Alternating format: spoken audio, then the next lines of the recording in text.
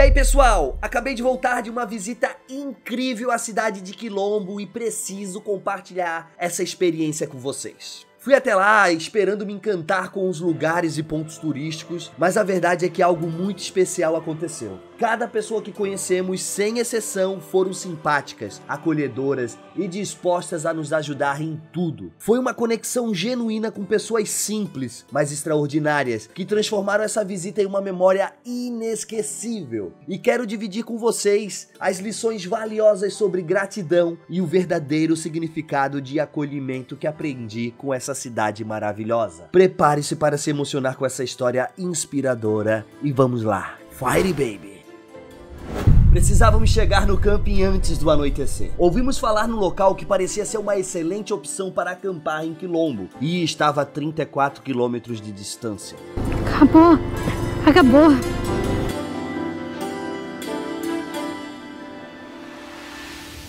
Já vimos o Mirante do Dedo e falta 31 minutos para a gente chegar lá em Quilombo e procurar o nosso camping. Ainda havia algumas horas de luz do dia, mas era preciso manter a constância na estrada e acelerar um pouco para alcançar nosso lugar de acampamento. Estamos na cidade de Quilombo, no bairro Santa Inês, e vamos procurar o Recanto do Vô Germano.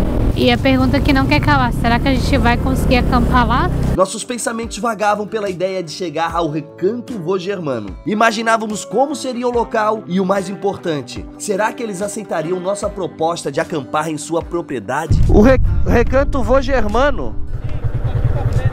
Vou subir muito morro ou não? Não tem, eu não sei exatamente como ir lá, mas tem as plaquinhas aqui em forte. Ah, tá. Estrada ali, pode prestar atenção. Lá eu acho que trabalha com camping, né? Isso, eles têm campo. Né, a gente foi lá no Mirante do Dedo, lá eles não aceitam acampar, cara. Claro. Aí vamos vir pra cá. Mas é de boa então. Sim, não, é de boa. Tá, obrigado, hein? Podia acampar aqui, ó. Aqui parece ser boa a estrada. Tomara que amanhã dos passeios sejam tudo assim, ó. 2 km e 300. Oi! Que coisa linda tá essa estradinha. Oi! Sou muito amigo das pessoas. Onde é que a gente foi se esconder? Não tem lugar para acampar lá na Grande Florianópolis. Tem que vir aqui, ó, cruzar o estado. Olha que coisa mais linda, gente. Pá, gostei desse lugar. Não tem, não tem como não gostar, né? Olha o murozinho de taipa. Finalmente, após uma emocionante corrida contra o tempo, avistamos as placas indicando a entrada para o Recanto Vô Germano. Nossos corações se encheram de alegria e alívio. Havíamos chegado a tempo. Recanto Vô Germano. Acho que é aqui, né? Vamos lá. Ah Lá continuaria, né? A placa não ia mentir, né? Ih, olha como é que tá o rio. Ih, vamos chegando, né? Tudo bom? É por aqui que entra mesmo ou entra errado?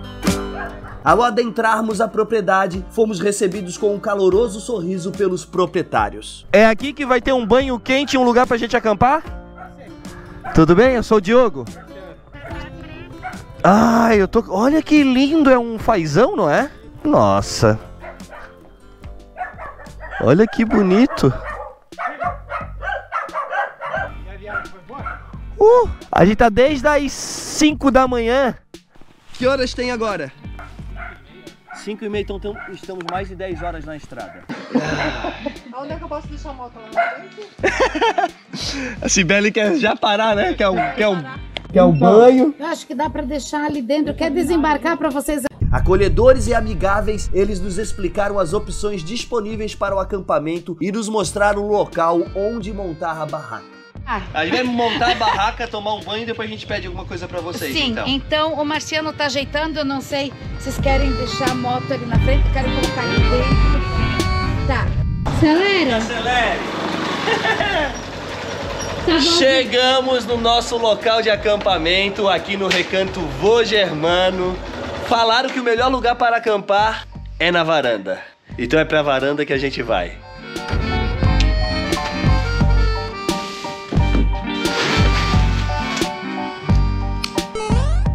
Com uma barraca montada e a fome começando a nos atingir, perguntamos sobre a alimentação. Surpreendentemente, eles nos informaram que serviam refeições caseiras para os visitantes. E nossos estômagos roncaram de alegria e ansiosos para provar a culinária local. A gente ficou sabendo que a gente vai ter uma baita de uma comidinha preparada pela Dona Inês muito boa. O que, é que ela mais gosta de fazer pro pessoal comer? Bom, geralmente eu pergunto pro pessoal o que eles querem comer, o que eles têm vontade de comer. Mas hoje nós vamos fazer umas porçãozinha, porção de filezinho de tilápia, batatinha frita, polentinha frita. Daqui a pouco vamos comer, vamos tomar um banho, já armamos as barracas. A moto vai ficar num lugar coberto, o que ajuda pra caramba. E amanhã a gente quer acordar cedo pra aproveitar tudo muito bem. Vou mostrar ali onde e como ficou a barraca. Tomei banho! E hoje não é banho de rio, olha aqui ó. Chuveirinho, tudo muito simples, mas tá limpinho e tá um chuveiro quente. Chegamos aqui na praça de alimentação do Recanto Vô Germano. Sentados em uma mesa rusticamente decorada, deliciamo-nos com pratos tradicionais da região. A comida era deliciosa, preparada com ingredientes frescos e cheios de sabor. E a Cibele até agora não voltou pra casa. E a primeira missão a gente já conseguiu concluir. A gente conseguiu chegar Vou voltar sozinha agora. tá muito longe. Vou do Uber. No dia seguinte, despertamos com a energia renovada e a curiosidade pulsava em nossos corações. Agora, nós iríamos explorar a riqueza cultural de Quilombo e fazer a famosa rota chamada Encantos Rurais. E uma das paradas obrigatórias nessa rota era o café colonial nos Panificados Paulina. Daqui a 11 quilômetros, mais ou menos uns 20 minutos, a gente chega lá. E será que a gente vai encontrar? Tivemos, um- tivemos uma boa noite de sono, um tempinho para replanejar e hoje vamos aproveitar Quilombo.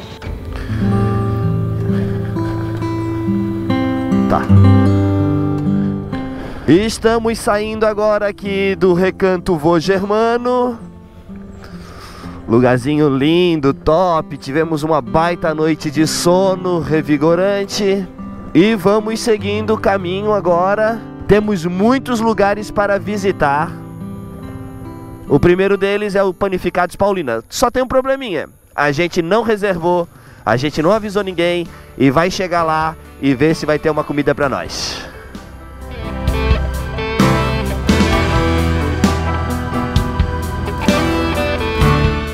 E começamos o dia, agora é 7 horas e 5 minutos. É, o sol não nasceu e já começamos com aquela serração. Eu fiz uma pergunta pro pessoal lá do Quilombo Mil Grau. Ó as galinhas! A mulher veio morar pra cá, ela disse que o que mais tem aqui é morro! é morro e serração. Eu pensei que essa galinha tava voando, mas era um pombo.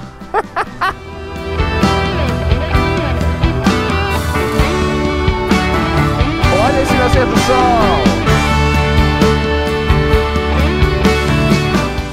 Só que a gente deu uma paradinha para apreciar esse lindo nascer do sol e já fizemos imagens, fotos e agora bora seguir pro nosso objetivo que é Panificadora Paulina porque a fome já tá chegando.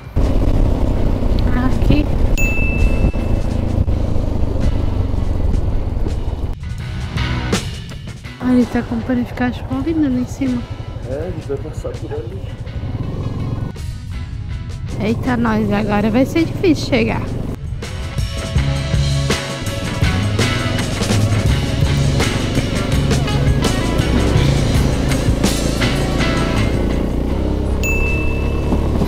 Opa, segura a mão aí. A gente já quase foi.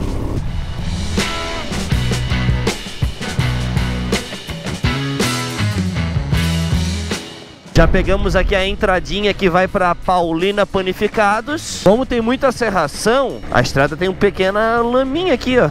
Ó, oh, Sibeli ela prefere passar pela lama. Aí é ir com um pouquinho mais de cuidado aqui nessas partes que estão um pouquinho mais escorregadia. Não, não vamos subir o morro. Aí a Sibeli ali tá dormindo ainda, não dormiu direito. Ela acordou às três da manhã e não dormiu mais, segundo ela. Vamos descer o morro. Né? Botaram cascalhinho aqui no morro. Passaram a máquina. Acho que é pra virar de. Não, mas aí ali tem a placa dizendo pra esquerda, né? Vira a direita depois, então. E aí já chega, beleza. É, também se não virasse a direita ia pro meio de uma plantação, né? Agora a gente sobe um morrinho e chega lá no Panificados Paulina.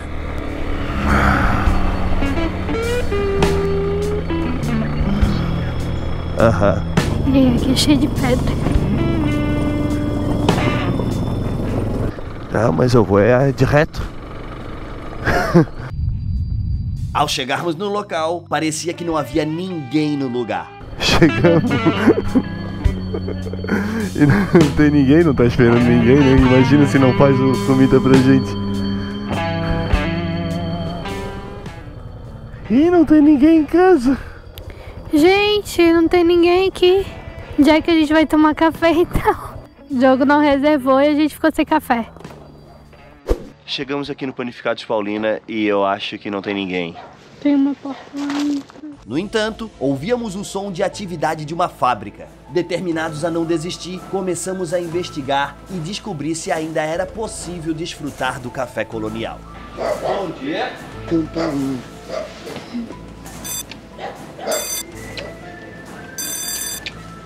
Se funciona, já tá Foi então que uma senhora simpática de sorriso acolhedor chamada Paulina nos notou e, mesmo trabalhando na fábrica de pães, parou tudo para nos atender. A gente não reservou, ali a dona Paulina ela não estava preparando receber ninguém, mas mesmo assim ela vai fazer uma comidinha pra gente, uns pães, uns salames, uns queijos, um ovo, banana, para servir pra gente. Enquanto isso a gente espera ela preparar as coisas e vai ser uma delícia.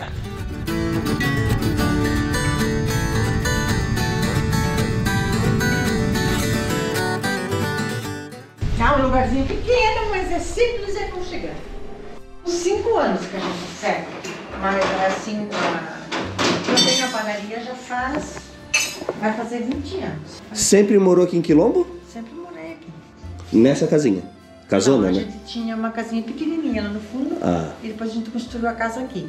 E quando eu comecei com a padaria, foi muito, assim, por necessidade mesmo, né? A nunca tinha, né? Desarrumado, porque a gente serviu café ontem, daí a gente Ah, é? foi. no- A gente tá acampando por aqui. A gente tá lá no recanto Vô Germano. Ah, Então, de simplicidade é o que a gente gosta. Ai, que bom. E ela gentilmente tá preparando um cafezinho pra gente. Lógico que não é o café que ela costuma servir pra quem reserva. Mas ela vai preparar uma coisinha gostosa pra gente, é o que vale. Que a gente só quer encher a barriguinha pra continuar no pé na estrada. E aqui a galera é simples e tá fazendo um turismo rural legal. E se você quiser aproveitar e conhecer um pouquinho de quilombo, não deixe de vir aqui também. Que chique. O que, que tem de mais bonito aqui na cidade de Quilombo? Que a senhora mais gosta aqui na cidade de Quilombo? Eu acho assim, é, é uma coisa muito boa a parte do turismo, que a gente conhece muitas pessoas diferentes. Pessoas que a gente se apega, que a gente nem imagina. sabe? Já veio gente de outro país, não? De outro país em si não, mas lá do Nordeste, lá Ah. de- de- do, do Norte, lá já do Sergipe, de Natal, É um povo alegre, né? é um pouco Era evidente que a simplicidade do local não diminuía em nada a excelência dos sabores que estávamos prestes a experimentar. Ai, que gostoso, Renato. Uma cobertura de coco, esse biscoitinho muito bom, hein? Ah, esse é bom e que gente Gente, nos desculpem que agora a gente vai estar um pouquinho ocupado, tá? Enquanto degustávamos as delícias à nossa frente, Paulina ficou conosco contando a história e o funcionamento da fábrica de pães.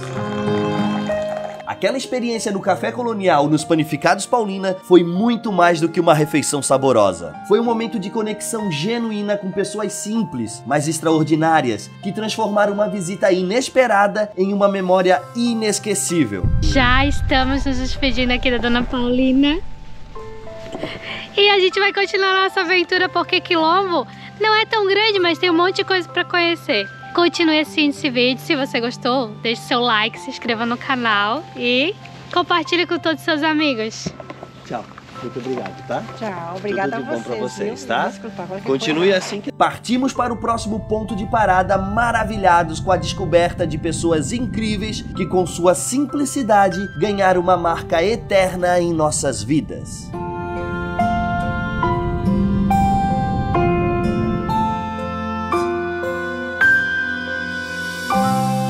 Você gostou desse vídeo e deseja apoiar nosso trabalho, convidamos você a se tornar membro do canal Ervilhas Mutantes por apenas R$ 1,99 por mês. Você pode se juntar a nós e fazer parte dessa comunidade e cada membro é valioso para nós e com mil membros continuaremos produzindo conteúdos como esse, compartilhando nossas aventuras e experiências incríveis. R$ 1,99 por mês vai dar 24 reais por ano que não paga nem um x-salada.